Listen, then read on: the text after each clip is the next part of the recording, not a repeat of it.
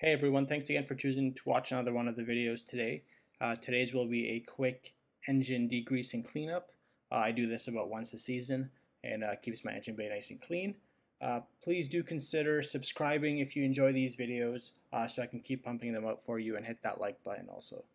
Uh, so my engine bay is not as bad as some others that I've seen. I always like to start by giving it a quick spray down. I've read some places that you should cover your alternator However, uh, in this car, the alternator is literally right behind the grill. Uh, it's something that gets wet all the time whenever it rains, so I opted not to do it. So quick rinse down uh, is something I like to do. Uh, and then I follow it up with a product called uh, Chemical Guys All Clean. Uh, it's just a all-purpose cleaner and degreaser. Nothing too crazy. It's not gonna, you know, eat away at your asphalt or anything like that. it's a pretty good product to to do some light cleaning of the engine bay. Now there's a few methods uh, to doing this. Uh, I've seen people spray it directly onto the engine bay with no uh, water rinse out before.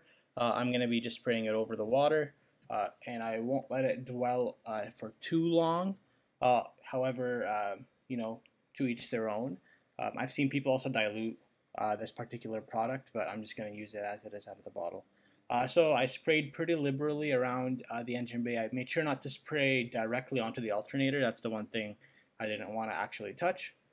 And then I uh, went and uh, used one of my uh, detailing uh, brushes to just go ahead and agitate most of the surfaces that I can.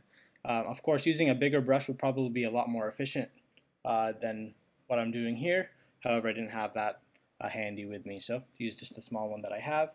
Uh, go ahead and agitate all the surfaces that you see uh, where you could find dust and grease maybe uh, build up. be very careful where all the you know connectors are and, and all the rubber hoses. Just one thing just to be careful around. However, the rest of the car is fair game. I just went ahead and agitated everything that I could. And uh, go ahead and uh, fast forward this for you because it is kind of a time consuming process. Uh, just a quick note, make sure your engine is cool to the touch. I let it sit in the driveway for a couple hours before I touched it, uh, just so that when you spray the uh, all-purpose cleaner or the water directly on, it doesn't evaporate right away. So at this point, I'm nearing the end of the agitation phase, I guess. Uh, I'll be getting ready to actually uh, spray off uh, all the all-purpose cleaner off the car and uh, get ready for the part that's probably the most satisfying out of everything is just to see how clean it got afterwards. Uh, so it does take a little bit of spraying to get the all-purpose cleaner off, but it doesn't stick too much. Uh, it's pretty easy to spray off. So I just made sure to get all around uh, the car. I made sure to get part of the windshield where maybe there was a little bit of overspray and the front bumper also. I just didn't want to take away from any of the wax coatings that I have on the car. Uh, so at this point here, I'm just using an, uh, an older uh, microfiber towel uh, I'm not going to use a new one wasted on the engine bay, of course, just to pick up any of the uh, excess water, I guess. Just make sure you have to uh, wring out the uh, the actual uh, microfiber every now and then just to get the water out of it. Uh, but yeah, I tried to get in all the nooks and crannies and get most of the visible water that I could see off in preparation for the next product here that you see. It's the Chemical Guy Silk and Shine. it's like a protectant for vinyl rubber and, and plastic pieces. Uh, so I just sprayed it on all the flat surfaces of the car uh, and uh, just give it a quick wipe down with a new microfiber for this particular moment. It kind of gives a like a sheen, not a shine. I don't want it to look have that shiny, greasy look, I guess. Uh, just a nice dull matte look is what I was going for here. Kind of like the fresh out of the dealership or out of the factory look. It does work really well. Uh, I try to get it on most of the surfaces that I can. And uh, for the parts that are not flat that you'll see in just a moment, I just like to spray directly onto the actual microfiber towel itself and uh, kind of apply it that way. But as you can see here, it does a really good job of finishing up the look. Uh, it's a product that's really easy to find. Uh, I found it on Amazon myself. Um, but I know uh, some Walmarts and different auto stores, I guess, uh, will actually carry this product also. So here, just going over the parts that I've missed uh, by spraying it directly onto the microfiber and applying it that way.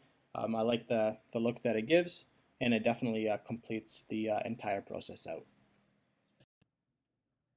Another quick note about this uh, product that I like uh, is that it doesn't actually uh, leave like a sticky residue on any of the surfaces like maybe some of the other products that you may get or like the spray on foams. Uh, that's just uh, a really good uh, attribute to this particular spray. that way dirt and grime doesn't stick to that actual film that it leaves on. So here's an after shot, I guess, of the engine bay it looks pretty good in my personal opinion. It passes my personal test. Um, some people might uh, want to, you know, take off the engine uh, bay cover uh, and clean it that way. This is an after or a before shot, that is. Um, you can see it does look pretty dusty, uh, not too greasy, but uh, this is the after shot here, and uh, it's a night and day difference in my opinion. Yeah, I know the the sun's not hitting it in the same way, but it definitely is a lot less dusty and dirty, and it, it looks perfect in my opinion. So please do consider subscribing and watching another one of the videos on the channel. Uh, helps the channel grow a lot. And uh, please leave any suggestions in the comments uh, to any future videos that you may have. Thank you so much for sticking to the end and watching uh, another one of the videos on the channel.